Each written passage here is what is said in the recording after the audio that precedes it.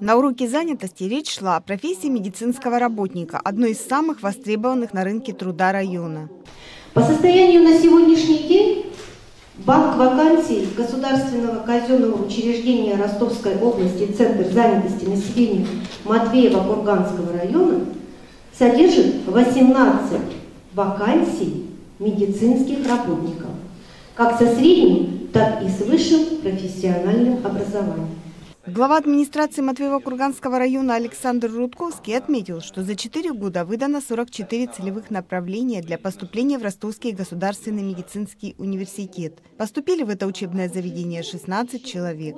Э, мы приняли для себя, наверное, какое-то вот такое решение, когда э, собрание депутатов поддержало э, нашу инициативу, и мы стали доплачивать стипендии наших ребят в общем-то, определенная сумма для того, чтобы, в общем-то, наверное, с одной стороны, поддержать немножко материально, с другой стороны, чтобы все-таки заинтересовать, чтобы дети после окончания э, мир учреждений э, возвращались работать в район.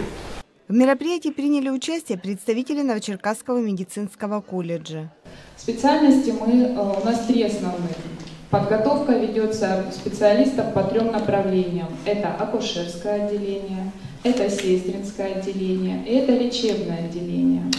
Мы принимаем абитуриентов на базе 9 класса и на базе 11. Рассказав старшеклассникам о правилах приема в учебное заведение и о специальностях, которые можно там получить, преподаватели медицинского колледжа провели мастер-класс. Ребеночка положили вот здесь, да? Сбоку немножко кладем ребенка, а теперь смотрите, левую ручку на ребенка кладем, левую руку на ребенка, правой заводим сюда пеленку, под ручку, под ручку, и ладошечкой под спину заводим, да? Теперь между ножек прокладываем пеленку, между ножек, чтобы он не царапал сам себя. Положили, правую руку на ребенка положили, левой опускаем ручку. И теперь левой рукой берем пеленочку недалеко, вот так, и кладем сюда на плечо. Также перед собравшимися выступили представители Ростовского государственного медицинского университета. У нас э, на базе университета проводится Олимпиада по химии. Если вы выходите в десятку лучших, то у вас тоже есть бонусы, тоже есть, по-моему, 3 балла было в том году. Если вы становитесь победителями данной Олимпиады, первые три места, то это а, тоже дополнительно 4 балла к вашим ЕГЭ. То есть таким образом вы можете немножко увеличить свои шансы. А, спрашивали по поводу целевого. Медуниверситет работает по целевым направлениям. Целевые направления из Министерства здравоохранения Ростовской области выдаются, и, соответственно, по ним идет отдельный конкурс. По ним выделено отдельное количество мест. А это не общий конкурс, это только по целевым направлениям.